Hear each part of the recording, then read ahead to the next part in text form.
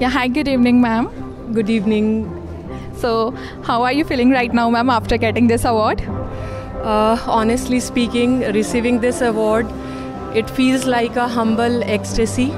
And I do personally feel that in the field of literature, we get recognition very later. But I am very grateful to Asian Education Society Awards that they recognize our potential and they have given us this opportunity and this platform. And I all also uh, looking forward to for further recognition also.